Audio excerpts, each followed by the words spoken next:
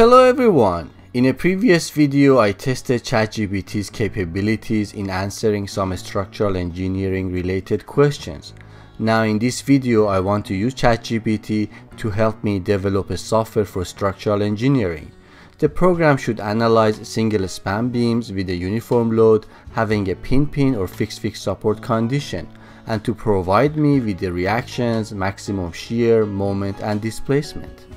So before we jump into the coding, I have summarized the requirements that I'm looking for and also what kind of workflow and validation I expect to have in this project. So let's look at the requirements together. First is we need to ask user for some inputs on the section size. In this case, we will support a rectangular hollow section. We will ask for the modulus of elasticity, a span length, uniform load value, and the support condition. We'll also ask for a user input for a modifier that will be used to bring down the displacement to the service level. We will also validate the user inputs for invalid data. We will also have the user inputs to be in specific units. We support uniform loads. Uh, we support pin-pin and fix-fix support conditions. Uh, we want the program to report the section moment of inertia and we also want the program to report the reactions, maximum bending moment, maximum shear and displacement. We also want the program to operate in a loop to allow the user to perform multiple analyses consecutively. Now let's look at the assumptions. First we are focusing on non-concrete sections since the deflection check for concrete elements is more complex due to the cracking and long-term effects such as creep and shrinkage. We are also assuming that the self-weight of the beam is included in the load that user inputs and we are also assuming that the uniform load value entered by the user is already factored and we will use a user inputted modifier to reduce the max deflection to the service level. In terms of the programming language, I will use C Sharp. Uh, this can be any language you are familiar with such as Python or any other language since ChatGPT supports many different programming languages and all you have to do is to include the name of the language in your question. User interface is console based. Console apps have a basic interface, something like what DOS operating system had. I could have chosen something more advanced, but a console interface will simplify our program development and we don't really need anything fancy for this program to work. Now let's talk about the approach. We can try asking ChatGPT in a very long question to implement all the requirements for us in one go. But based on my experience, you will not get the best response this way. Instead, we will break down the requirements into smaller questions starting with the basic version of the program and then ask AI to add to it with each subsequent question. So as you can see, I have also prepared a summary of the expected calculations. Having this summary will help me to debug the code easier. So I have a formula for calculating the moment of inertia for this section. I will need that to calculate the deflection. I also have some formulas here for a pin-pin support condition and some formulas for a fixed-fixed support condition. I have also made a few examples that I will use to verify the validity of the results. So after all the introduction, the only thing missing is the program itself. So let's jump right into it. Let's start by typing our first question for the AI. So I will just type in write a C sharp code for a console application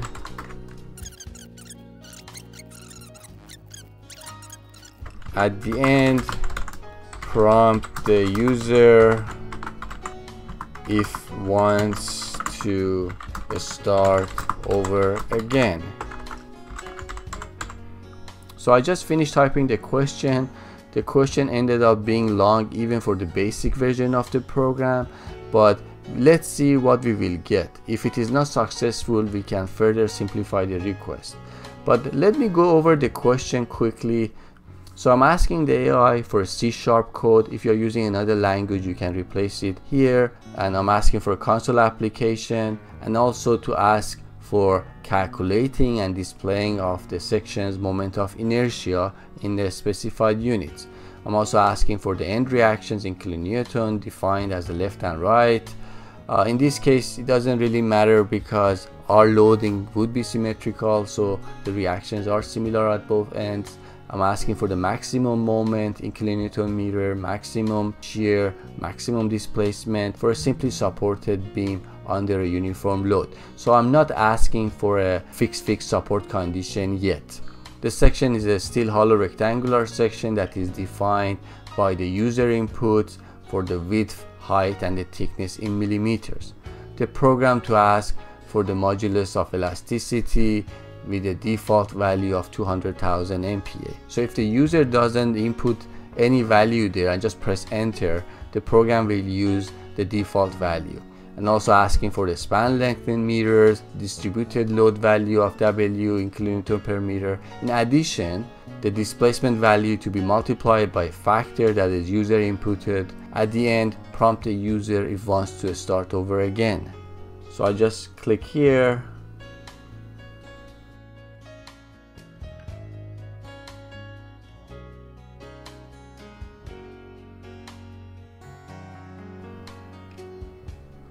seems like that we got some code that we can run. I can uh, click here to copy the code.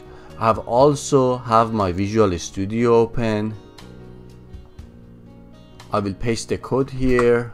Now let's go through the code together. The first thing I noticed that there is a do while here and as long as the user answers Y the program will start over again and again. So you can see that the question says do you want to start over? Uh, and then it can be yes or no the program starts with asking for the section properties in this case the width height and the thickness. And then it asks for the modulus of elasticity. And then it asks for the span length the distributed load the displacement factor. And then it does some calculations here. Eventually shows the results. So first thing first let's run the program. It ran successfully. It's asking me for the rectangular section parameters. If you remember, I had prepared some test cases before so I'm gonna use the same values here in this case. The width of the section is 152 millimeters. The height is 203. The thickness is 13. The modulus of elasticity, we set the default as 200,000. So I'm not gonna change it. I just press enter. The span length, as you can see, is seven and a half meters distributed load is 12 kilonewton per meter and the displacement factor I will assume 0.7 you can see the results. So the first thing I notice is that it's asking me if I want to start over. This was one of the requirements that we included in our question to the AI I. Also noticed that the units are correct. These are the units that we asked the AI to use. So let's do the comparison. The moment of inertia looks correct I think the program doesn't do rounding. We can add that if we want to. The left and right reactions are 45 kilonewton. That is correct. And the maximum shear is 45 kilonewton. That is correct. And the maximum moment is 84.3 kilonewton meter which is also what we expected. This is again there's a rounding difference there. And the maximum displacement we expect 36 millimeters but you can see that the displacement is very little here. This is something that we have to look at. So let's go back to the code. So a quick look at the maximum displacement calculation here and then comparing it to what we expected. Uh, you can see that first uh, span length unit is wrong. For this to be consistent, we need to convert the uh, span length to millimeters. So that is not correct. And also the overall formula is wrong. 5 is missing and then this has to be divided by 384 is using only 8 so we can try telling the AI about the issues we have found. So it can try again but I usually find it quicker to fix the issues myself. For this video I will try to fix the bugs at the end to make the video a bit easier to follow. Now let's add the capability to our program to allow the fix fix support condition as well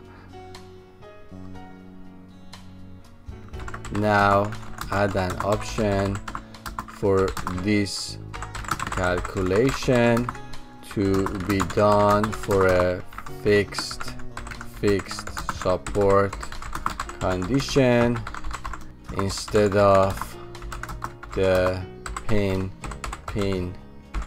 Looks good enough. Let's try this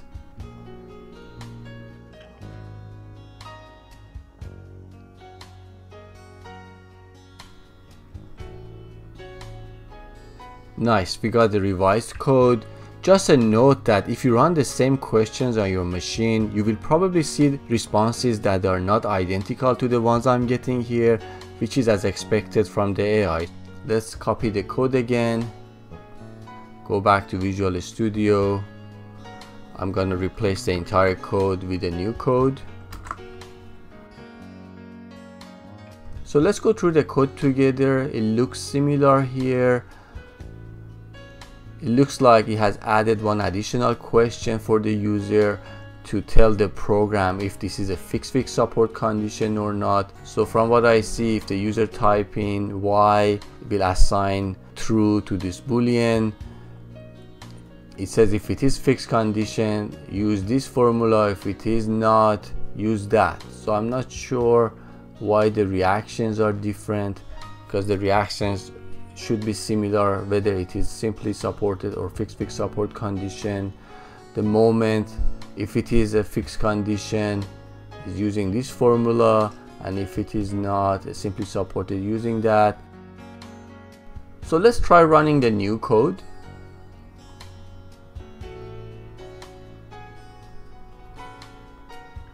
So I have also another example for the fixed fixed support condition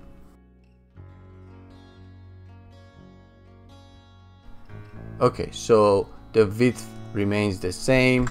It was 152 the height is 203 the thickness is 13 millimeters. Uh, we use the default value for this example. The span length is 8 meters. The distributed load is 14 kilonewton per meter. The displacement factor I assume 0.7 now it's asking me if it is a fixed fixed support condition. We will say yes or Y. And now it is showing me the results. So the moment of inertia is correct same as before. Uh, the reactions are correct 56 maximum moment is 74.6 is correct. And maximum displacement should be 10.95 millimeters. But as you can see is wrong again so the results seem correct except for the deflection again. Uh, as I mentioned, we will fix the deflection issue at the end. Also one thing that I noticed is that now the reaction calculation doesn't seem to work for the simply supported anymore. So it was working in the previous run. I will fix these issues at the end. For the last step, I will ask ChatGPT to include some input validations by typing in add error handling checks for all inputs.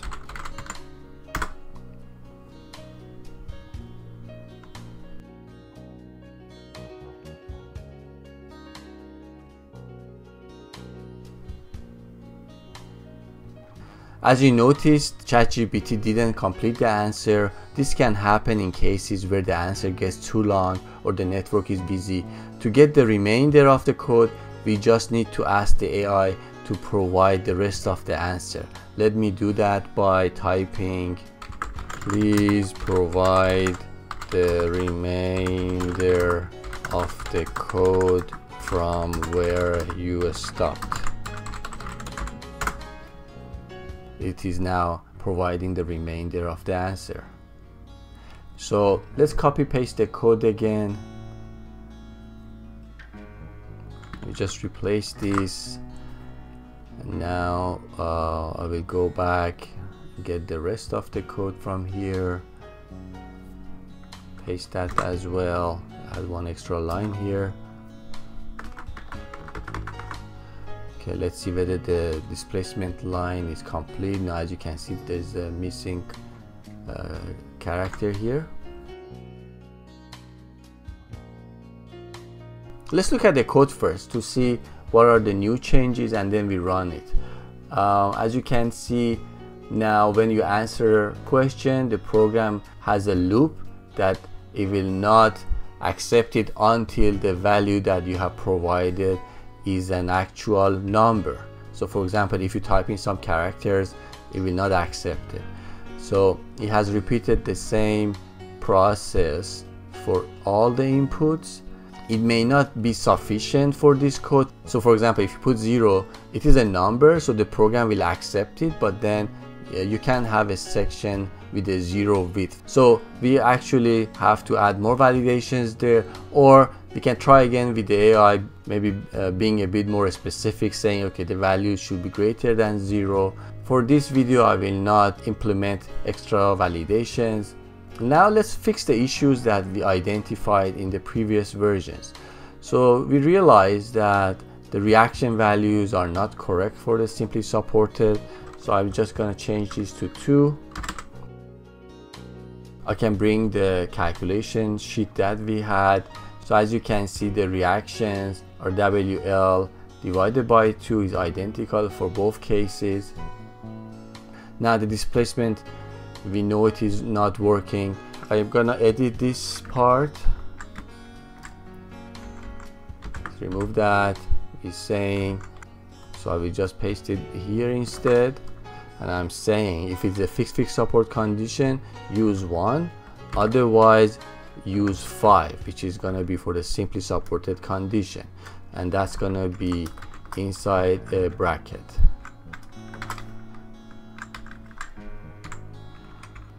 And then the span length to the power of 4 so we know that the span length has to be in millimeters so it, it is consistent with all other parameters in the formula. So I'm gonna multiply this by 1000 there's nothing else after here and then multiply that by the displacement factor. To make the code a bit more easier to read I put this in another bracket. And now I think it should work. So let's try running it. So let's try the simply supported case again. So this is 152 203 13 200,000 seven and a half meters. This was 12 I'm assuming 0.7 again and this is simply supported so I'll type in n. Now the moment of inertia is still correct. The left reaction right reaction is correct. The moment is correct. As you can see the displacement is correct now. Let's go to the fixed fixed support condition. So here I just type in y now it's asking me for the inputs again. 152 203 13 mm This is 200,000 now the span length in this case is 8 meters. This is 14 I assume 0.7 again. This is a Y. And now we have the results. So let me bring the results the left reaction is correct the right reaction is the same maximum moment is correct uh, maximum shear is correct and now the displacements are correct so here we are. We managed to get some great help from ChatGPT to develop a useful program in a short amount of time. But we need to remember that the program we just developed is considered relatively basic in terms of the structural engineering concepts. And the AI may not always know all of the structural engineering calculations or even if it knows, it may not know all the required code considerations. So just because the AI provides an output to a question, it doesn't mean that it is correct or complete. Therefore, uh, it is important to verify and double check everything you get from the AI. Uh, I guess this is all for this video. I hope you learned something new. So until the next video, goodbye.